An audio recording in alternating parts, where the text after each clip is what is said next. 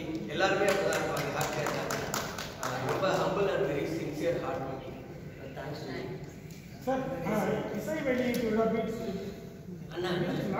நான் மனப்பாடம் பண்ணது பேசிட்டேன் இல்லைன்னா நான் குழந்தைங்க நான் பண்ணது இப்படி வேற எங்கேயோ போயிடும் அது மட்டும் நான் பேசுறேன் நான் தப்பா சார் அ- அரசியல் சார்ந்த கருத்துக்கள் இருக்கா சார் எனக்கு அரசியல் எனக்கு நல்லா தெரியும்